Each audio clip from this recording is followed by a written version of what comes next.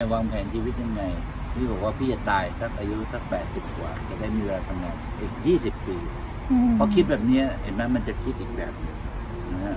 ซึ่งคนก็ว่าอาจจะฟังดูเหมือนบ้าแต่จริงๆแล้วมันก็เป็นลอจิกที่เราไว้บอกตัวเองเราบอกคนเรากำหนดวันตายไม่ได้แต่พี่กำหนดไว้แล้วนะครับ แต่มันจะเลยกว่านั้นถือว่ากำไร น้อยกว่านั้นถือว่าขาดทุนไม่เป็นไรเป็นเรื่องที่มันเกิดขึ้นได้ การลงทุนย่อมมีความเสี่ยง ประกายไฟเล็กๆ ที่เราให้เขาวันนี้มันจะกลายเป็นไฟไหม้ป่าที่ยิ่งใหญ่ของเขาป่าของความสำเร็จอะไรเงี้ยเราเปรียบเทียบให้ฟังเพราะว่า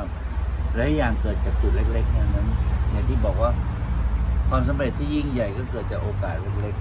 ๆเอ่อถ้าสังเกตจากสิ่งที่พี่ทำก็คือพี่ก็กำเนิดจากความคิดเล็กๆ ไฟไหม้ป่ามันก็ไหม้จากประกายไฟเล็กๆนั้นทุกอย่างเกิดจากจุดเล็ก ๆ มาก่อนดังนั้น ที่เขาพูดว่ากรุงโรมไม่ได้สร้างเสร็จในวันเดียวกำแพงทุกกำแพงมันมีหินก้อนแรกเสมอนะครับ ทุกๆอย่างต้นไม้ใหญ่นี่ก็เติบโตจากต้นไม้เล็กทั้งนั้นนั้นอย่ามองข้ามจุดเล็ก ๆ จุดเล็ก ๆ มันเป็นทั้งผู้สร้างและผู้ทำลายนะครับ อันเนี้ยพี่อยากจะให้ทุกคนเข้าใจคำว่าจุดเล็กๆลูกโป่งมันแตกก็เพราะว่าเข็มเล็กๆ เรือมันล่มเพราะว่ารูรั่วเล็กๆนะครับ คนมันคนมันแล้วก็ที่สำคัญ ที่ลิงบอกไปอ๋อจริง ๆ อยากจะบอกว่า จุดหนึ่งที่ทำให้เราประสบความสำเร็จเนี่ยอีกอันหนึ่งก็คือวิธีคิดที่ที่เรียกว่าต่ำต้อยจึงยิ่งใหญ่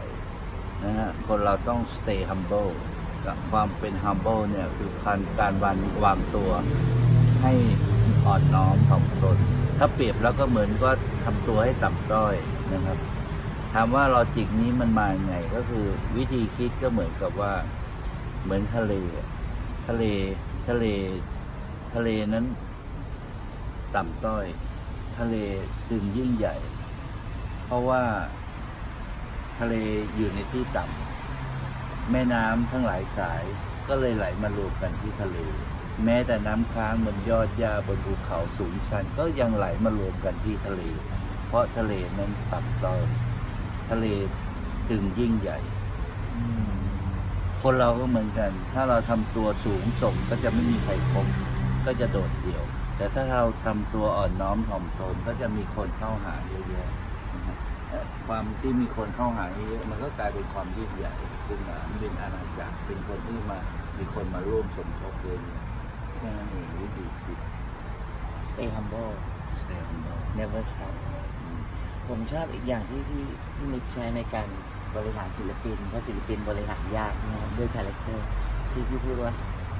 ไม่ขีดเส้นแต่ว่าสร้างถนนให้ใหญ่คือยังไงนะครับไม่ตีเส้นให้ไต่แต่ทำถนนใหญ่ๆให้เขาเดินก็คือว่าเราไม่ไปจัดเกณฑ์บังคับให้เขาเดินไต่เส้นลวด เพื่อที่ไปถึงปลายทาง แต่เราบอกไม่ต้องไต่เส้น เดินบนถนนใหญ่ๆนี่แหละที่เราสร้างไว้ แล้วเขาก็เดินอย่างมีความสุขอ่าถ้าดีหน่อยก็ปลูกต้นไม้ให้มันล้มๆข้างทางแล้วเขาก็จะไปอย่างมีความสุขแค่นั้นเองแล้วก็ปลายปลายทางก็คือความสำเร็จเหมือนกันขอบคุณมากครับพี่นิกครับอ่าครับ